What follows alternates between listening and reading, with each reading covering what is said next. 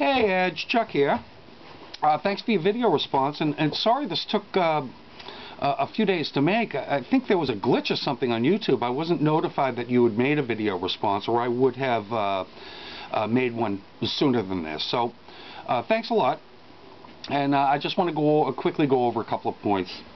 Um, first off, and this goes to anyone who's looking at this video and responds to me, that uh, if you uh, uh, ever see that I'm being hypocritical, it is uh, uh, more than welcome uh, to hear it. Um, I have absolutely no problem with it being pointed out to me, and, and especially if I am being hypocritical. Um, so don't ever worry about saying that. That's what YouTube's all about. That's what good discussion is all about. Uh, however, Edge, I don't think in this case I was being hypocritical. Uh, after I uh, uh, saw that part of your video, I went back, looked at my video, and um, I know I make a lot of videos with questions, but this wasn't one of them. The, these were my own thoughts. And uh, the fact is, is that I, I never, in the video once, asked for Christians uh, to vote or ask question of, of Christians if they would vote for anyone who was non-Christian or who was an atheist or anything like that. Uh, these were uh, thoughts about what I would do, and uh, in no way did I uh, ask any questions of, of anyone, really. Um, but if I had, I still would have thanked you to uh, uh, point that hypocrisy out to me. Um, and I want to clarify something about what I had said about if someone is a creationist, uh, that would be the the, the uh, uh, there would be no way I would vote for, for, that person.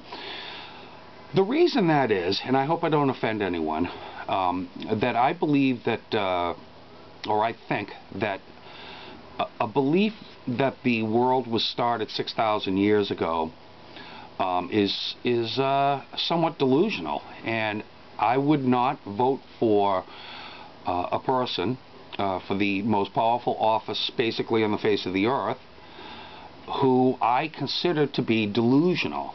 Um, if, if they're delusional in that respect, they would be delusional in other respects, and it would affect exactly how they would uh, run the run the the country. And and I mean, it kind of goes like if if uh, someone was the had the credentials of of uh, um, you know the perfect candidate, and they had this one stickling point say that they thought that uh, Chinese people were inferior human beings. On that one point alone, I would not vote for that person, even if all the rest of their policies were the best thing since sliced bread. And it, it's the same for me about someone who uh, states that they're creationists. Um, and that sort of sums it up. So, um, uh, thanks a lot, Edge. And uh, I hope to uh, talk to you soon. And uh, this is Chuck signing off.